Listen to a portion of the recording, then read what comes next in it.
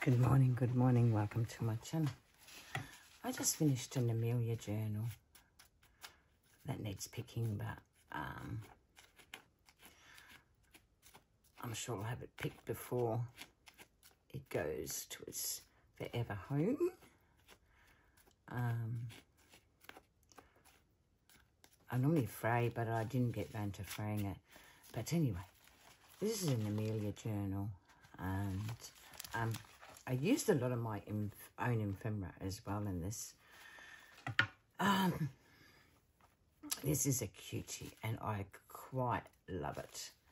Um, they stand up beautifully on your dressing table. It's a bit hard to stand it up on here because I've got bumps and I've got stuff underneath that. But anyway, this is my Amelia journal. I left that blank because I thought the buyer should have something to put for herself there. Since it's her journal, you got to allow them a little bit of room. But this is just gorgeous, and I really didn't want to cover it up anyway, but I thought I'd leave it like that, and she can decide for herself what she wants to put there. It's a lot of ephemera um, and pockets. That should be in there, actually. And there's a picture there in case she wants to put the picture there. Because this is little Amelia journal. So it'd go nicely there, but I thought I'd leave it to her. She might have a picture that she might want to use. But this little Amelia again, and um, again that needs fraying, um, which is easy enough to do. I just haven't done it. Um, I just love, this is um, an envelope that I've just collaged lightly. Um, and there you'll see a bit of multi-medium. And I love the look of it. Um, it's nice, it's shiny, and it makes for a great journal page. Um, I've got some there too. There's tabs in there. I've turned um, an envelope into a double journaling um, tab to create this effect. And again, using vintage photos. I just love using vintage photos in my journals. Um, I love playing with vintage ephemera. as a journaling card in here. Now, what have I done? I haven't stuck it to it because that's not supposed to happen. No, it's not.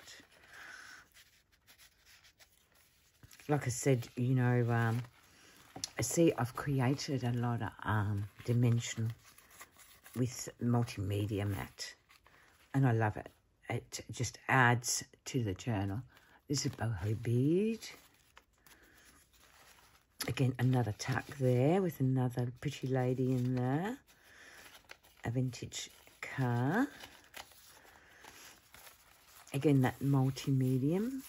It just comes up beautiful, but you just got to watch that it dries completely because it can get sticky. Um, I just love it. I, I, I love the effects of it. Um, and that's on there too.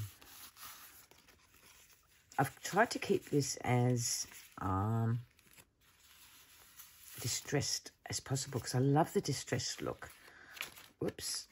I really love, love this piece of ephemera. Um, the kit's from Rainy Day Gypsy, by the way. But there's also my own ephemera in here. My own um, types of bits of ephemera. Um, I folded a lot of a lot of my ephemera pieces and used them as tuck spots. And the ephemera is gorgeous that I've got. This is my own ephemera. Like I said, I left room for the purchaser to move. Um, and in the centre, I actually put Amelia's parents' wedding day. I thought that would go down well. Um, collaged one of my vintage envelopes. Like I said, some of this is my own ephemera. So, um, tuck in there. There's a tuck in there. And that flips out. But I've sewn down there. So I've got a tuck in there. And that's the ephemera from the kit. Like I said, some stuff's my own. Tuck spot there. Isn't it gorgeous? Just love, love, love. Love playing with this sort of stuff.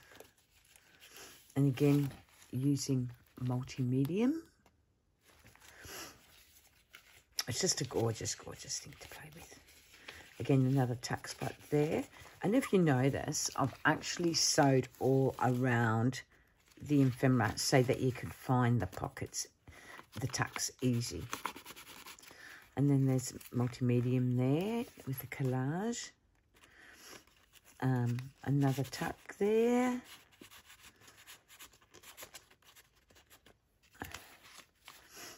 A bit of collage in a multi-medium, which I enjoy doing. A vintage photo, again with a tuck, with a photo in there. I just love, love, love playing. Sorry, I had it all closed up. Sorry. I Hope you've seen what I was doing. But yeah, there's a tuck in there. Now just going to make sure this is not a page stuck to another page. Um, let me see. Let me see. What did I do? Because sometimes you just don't know. No, that's a that's a tuck. A tuck with a photo. And there's something else in there, I think. I think. I think. Yeah. Another gelling card. So it's cutie. And I just layered laces throughout the journal. I just love it. I just love the effects. I left that plain, but it's got multi-medium and some lace. Another tack there. Vintage lace throughout. Another thing, and that's the grandparents' wedding day. I just thought Amelia should have a family, and that's her siblings. But that's my little Amelia. And that's the cover. And Amelia is quite cute. Like I said, that's her parents' wedding day. I just thought Amelia should have a family. Her aunt's in there. But I hope you like it. Um, I love doing these type of journals. They're just cute. They stand on your dressing table quite elegantly. I can't stand it here because I've got bumps. I had to hide them. I had to hide. But anyway, thanks for watching and see you next time.